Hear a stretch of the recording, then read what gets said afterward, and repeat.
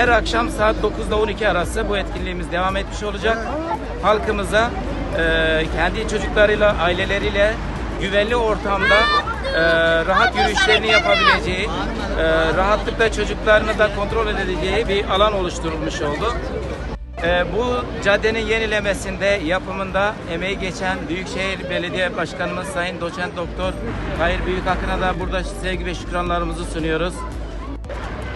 Evet bu fikir çocuklarımızın her seferinde önümüzü keserek başkanım biz bisiklet yürüyüş yolları istiyoruz demesiyle başladı bu fikir. Ee, şu anda her akşam 9'da 12 arasında e, bu caddemizi trafiğe kapatıyoruz. Ve çok mutluyuz. Değil mi çocuklar? Evet. Onların mutluluğu her şeyde.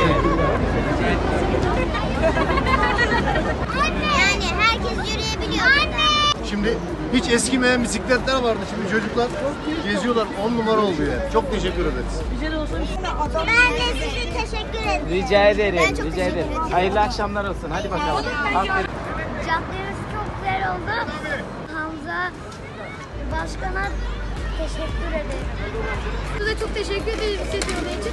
Bir mahallede çok fazla kişiler var çarpıyorduk. Burada rahatça gidebiliyoruz. Size çok teşekkür ederiz. Yolda giderken hep arabalar bize dip dip dip rahatla gidemiyoruz. Hep kaldırımda yürüyoruz. Başkanımıza çok teşekkür ederim.